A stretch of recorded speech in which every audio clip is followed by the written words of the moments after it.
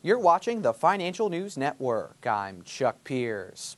No good news when it comes to new jobs this morning. Automatic Data Processing Incorporated, or the ADP, reported private employment gains in April of 119,000. This is the lowest result since September, a very grim outlook considering the average private sector growth comes in at 200,000 jobs in the month. These results usually provide an outlook to what the April jobs report will be from the Labor Department.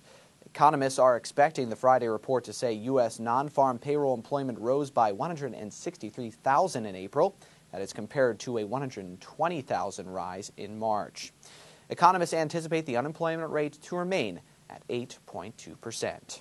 For further updates, keep it right here to the Financial News Network at FNNO.com.